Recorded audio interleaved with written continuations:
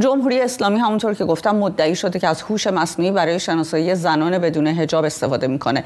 ویدیوهایی هم خبرگزاری فارس منتشر کرد. البته با دوربین دستی فیلم گرفته شده بود از شهروندا بعد عکس افراد عکس کارت ملی افراد به اون اضافه شده و نمایش داده میشه و ادعا میشه که از هوش مصنوعی برای شناسایی استفاده شده. اول بگید چقدر این ادعا با واقعیت انتباق داره و امکان پذیر هست اصلا؟ خب بیاین قبل از اون ببینیم برای اینکه ما یه مدل هوش مصنوعی داشته باشیم چه زیرساخت و چه مراحل رو باید طی بکنیم. ما اول باید یک سری داده های آموزشی داشته باشیم. یعنی اینکه در این مثال ما باید از افراد مختلف در دایورسیتی بسیار وسیع عکس های مختلف در زوایای مختلف با نور مختلف با تغییرات احتمالی مختلف داشته باشیم.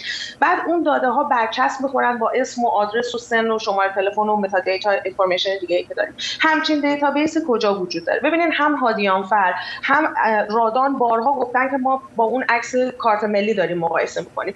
در همچین حالتی به قدری accuracy یک مدل پایین هست که اصلا شما نمی‌تونین یه مدل هوش مصنوعی روش run بکنید این که اول از هم دوم میایم می‌رسیم به زیر ساختای سخت افزاری که ما لازم داریم. اینترنت وسیعی که لازم داریم. GPU های پرقدرتی که لازم داریم. کدوم اینها وجود داره در ایران؟ هیچ کدوم اینها رو ندارن. ببینید اینها حتی نمی‌تونن امنیت سایبری خودشون رو در چیزهای خیلی مهمتر حفظ بکنن. حالا رسیدن به این مرحله که ما الان از این دوربین ها داریم استفاده می‌کنیم. در دقت این الگوریتم ها و مدل های هوش مصنوعیشون فکر می‌کنم همینقدر کافی هستش که محمد علی ابطحی خودش به اقرار خودش اس ام اس کشف حجاب گرفته بود که ببینید یک مرد هست آخوند هست و هزاران عکس از ابطحی وجود داره در اینترنت. یعنی شما لازم نیست الگوریتم رو تمرین بدین با عکس شناسنامه یا کارت ملی ابتری. حتی اینها اون رو هم نتونست یعنی زن و مرد رو نتونستن از هم تشخیص بدن. خب مشخص است که این ویدیو ساختگی هست. فیلم های سایفای زیاد می‌بینن فکر کنم بله. خانم تحویلی می‌دونیم که در بسیاری از کشورها از این قبیل روش ها و تکنولوژی های مشابه برای شناسایی متهمان جرایم جدی استفاده میشه. اما الان با توجه به گستردگی این نافرمانی مدنی که در بیشتر نقاط ایران دیده میشه فکر کنم اصلا اگر که بخواد حکومت چنین کاری کنه هزینه این اقدامات خیلی بالا باشه و احتمالا باید نیروهای زیادی رو به این موضوع اختصاص بده. درسته؟ بله ببینید هوش مصنوعی به خودی خودش بسیار تکنولوژی گرون قیمتی هست به خاطر زیرساخت هایی که لازم داره. ببینید ما چرا از هوش مصنوعی استفاده می‌کنیم؟ ما وقتی که می‌خوایم در یک مقیاس بزرگ با سرعت بالا با خطای انسانی کم و نیروی انسانی کم تصمیم گیری بکنیم میایم از یک مدل هوش مصنوعی استفاده می‌کنیم. در واقع یک ترید آف هست یعنی باید بیارزه به اون قیمتی که داره پرداخت میشه برای مثلا یک مدل هوش مصنوعی.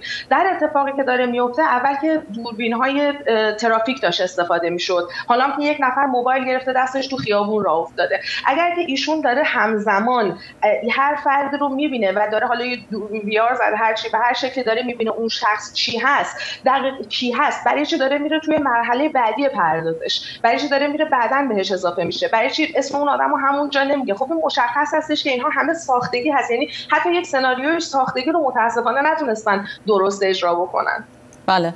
خب حالا اگر که بخوان از دوربین ها استفاده بکنن برای شناسایی زنان ما فرض رو بر این بگذاریم. برای زنانی که می‌خوان به این نافرمانی مدنی ادامه بدن راهی وجود داره که از تیررس دوربین خارج بشن یا شناسایی چهرهشون برای حکومت مشکل بشه. اون دوربین و تکنولوژی که جمهوری اسلامی داره غیر از اینکه یکی با موبایل را افتاده تو خیابون دوربین های کنترل ترافیک هست که داره پلاک یک ماشین رو می‌خونه و به صاحب ماشین داره پیام میفرسته. تا به امروز هر کاری که مردم ایران می‌کردن که تو طرح ترافیک نباشن همون در واقع جوابگو هست برای اینکه نتونن این پیدا بکنن. ببینید در مقیاس وسیع در مورد یک کشور 80 میلیونی همچین چیزی امکان پذیر نیست. نداره همچین تکنولوژی رو جمهوری اسلامی. اون فقط از مهندسی اجتماعی داره استفاده می‌کنه. از ادعایی که می‌کنه که همچین تکنولوژی رو دارم همچین فیلم هایی رو بده بیرون و ترس بندازه. خب اون ترس ممکنه کار بکنه ولی از دید تکنولوژی همچین چیز رو نداره حکومت اسلامی.